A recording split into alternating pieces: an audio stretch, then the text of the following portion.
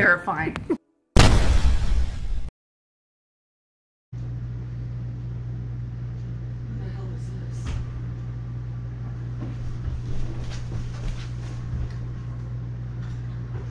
Stop!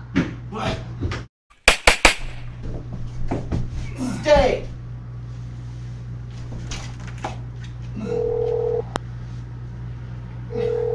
Nine one one. What's your emergency?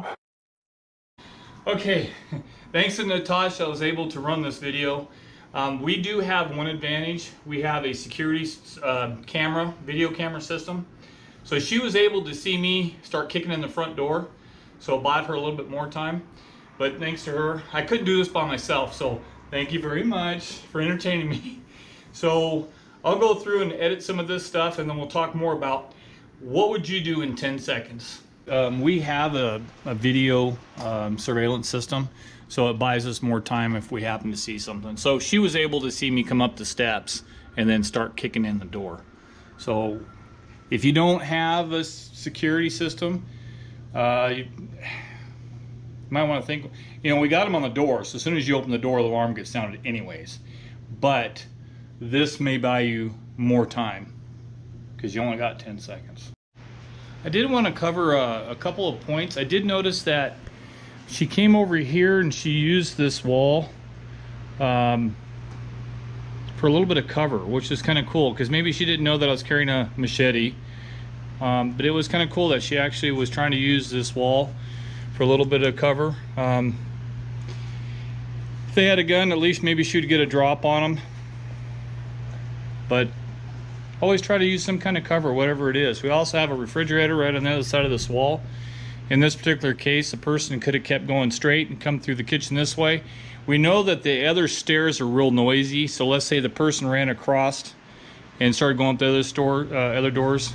She could essentially come over here and use the refrigerator right here on the left as um, coverage too. So I don't know if my wife actually enjoyed, you know, shooting me, joking, um, we took all safety precautions, um, even though we do have weapons. We didn't want to even do one like unloaded. Um, her weapon was a uh, cell phone, and my weapon was actually a back scratcher, kind of like a big machete, but I didn't want to actual. I was thinking about carrying an axe because it looks more intimidating, but knowing my luck, being old and fat, I didn't want to trip over the stairs and then, um, you know, slice myself open. Kind of hard to explain, right, honey? so I just wanted you guys to think about what are you going to do? You see on TV, you know, people are attacking other people, they're breaking into stuff, I don't know. But if you only got 10 seconds, you got something to protect yourself and your family? What do you do if the door being kicked in is between you and your safe room? Let's say your safe room is your bedroom or the bathroom. Do you have a weapon stored in those locations? Do not have weapons at all? Something to think about.